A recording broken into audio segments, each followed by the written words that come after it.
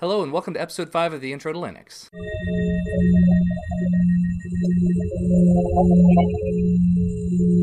At this point, I'll go ahead and assume that you've got a dual boot system set up already, so let's talk about what you need now that you've got that system. A traditional desktop user uses a web browser, an email client, maybe an instant messaging client, and an uh, Office suite of some sort. Well, Ubuntu comes with those things by default. So if you go ahead and go into your upper left hand corner into the applications menu, you'll see under internet that you have by default Firefox web browser. I'm going to have quite a few extra things in my menu that you won't have in yours, but that's okay. Those are the things that I've installed since I got my system running.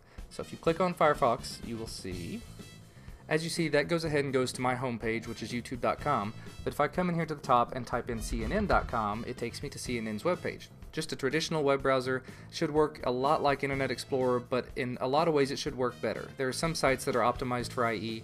Hopefully web, web developers are starting to get the idea and they're developing for cross-platform support. I know that in the work that I do, I support everything. But built into Firefox, there's an option called add-ons where you can come in and search for new add-ons. You see you've got download status bar, uh, video download helper. There's a ton of different add-ons you can install. Here are just some of the, the default uh, recommended ones from Firefox. Fox tab opens 3D in your browser, awesome. AdBlock is a great add-on. It allows you to block ads on every site. That's bad for people like me that are on YouTube, but for other sites, it's very helpful in a lot of ways. Your Amazon Universal Wish List, FD, Twitter bar, great, great things out there. Moving right along, the next thing that you would probably want to use is, is an email client of some sort. So if you go into Applications, Office, Evolution Mail, and Calendar, that's the default one that comes with Ubuntu. You can go ahead and set it up however you'd like to set it up, restore it from a backup, give it your information.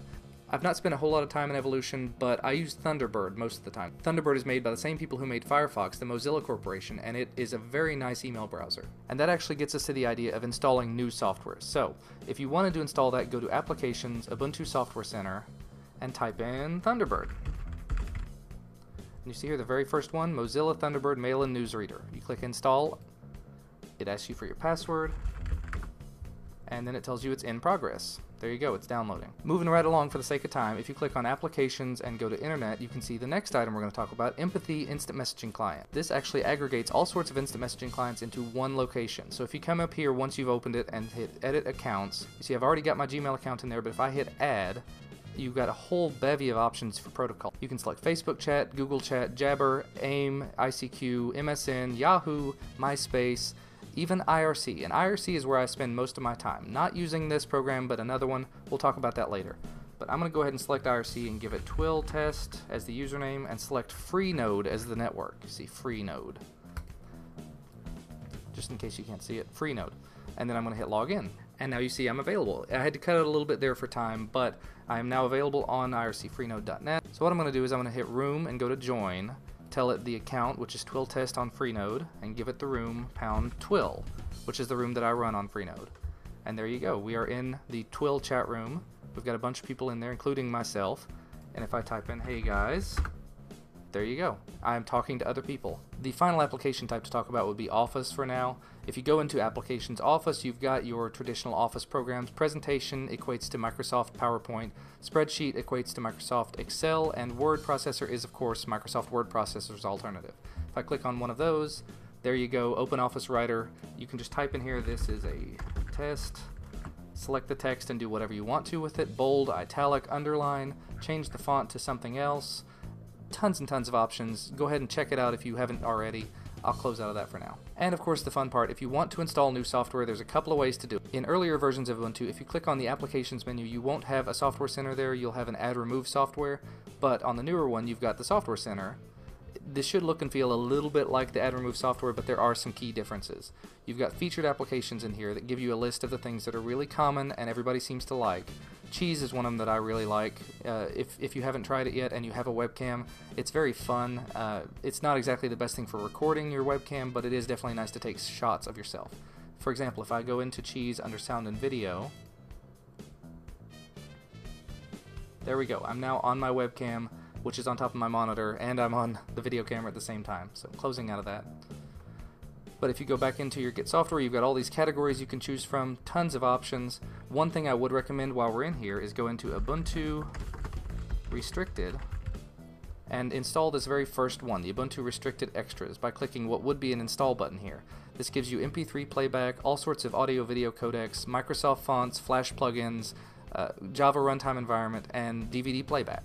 So that'll just give you a bunch of stuff all in one place. It's not everything that you'll need, we'll get to that in just a second, but that will get you a long way from where you were. So once you get that installed, we'll go ahead and close out of the Software Center and go back to Firefox because there's one more place you'd probably want to go if you're new to this. Go to medibuntu.org. And there you go. Medibuntu.org has a repository how-to where you can actually get the information on how to connect your system to Medibuntu. Medibuntu is a place where you can get all sorts of audio video codecs. You can get a lot of non-free software that might have some legal issues, but it, it's never going to come back to you. So you come to this Medibuntu page, uh, you click on the repository how-to, follow this instructional information, go to the terminal and run this command. That's going to connect to Medibuntu, pull down the list, and, and get you ready to start using it. Once you've got that installed, you should be able to go into your package manager, which in this case would be the AdRemove software, the Software Center, or this other one, Synaptic Package Manager.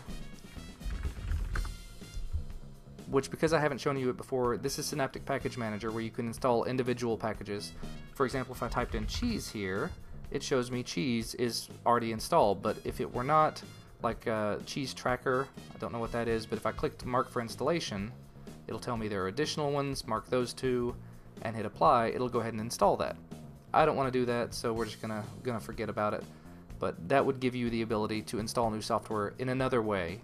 There are a ton of different ways to install software. These are just some of the easiest ways to do it. So back in Medibuntu's website, you see that you've got a ton of individual packages you can install.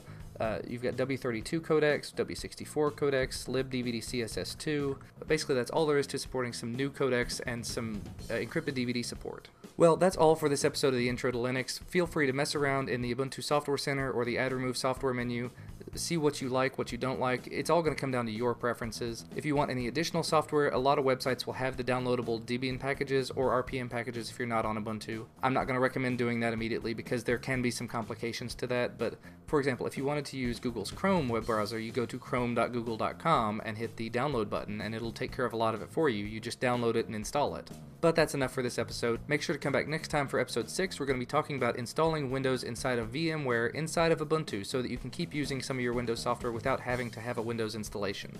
As always, thank you for watching and I will see you next time.